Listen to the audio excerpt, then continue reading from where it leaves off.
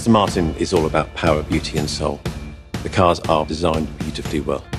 And what I need to deliver from an IT perspective is exactly the same. The Aston Martin IT department that I came into was one that, offered support.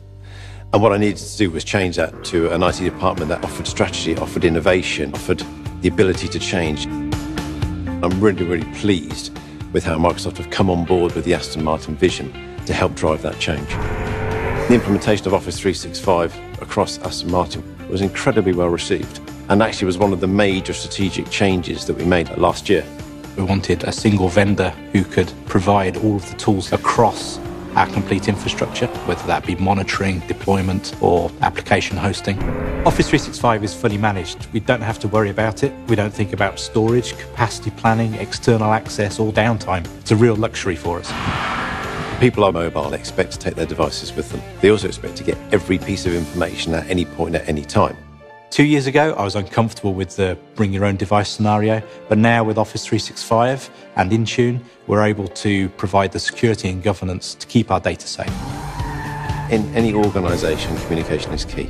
And what we wanted to do with Office 365 is make it very, very simple for people to communicate in whichever format they wish. Because people are different and people like to communicate in different ways.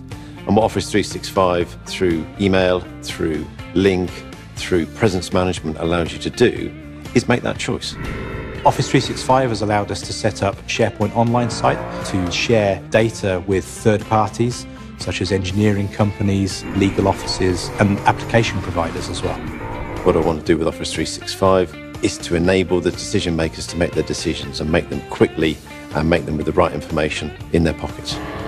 Microsoft really are a true partner for Aston Martin. We have a strategic relationship and we're really beginning to experience now the benefits that that relationship has brought.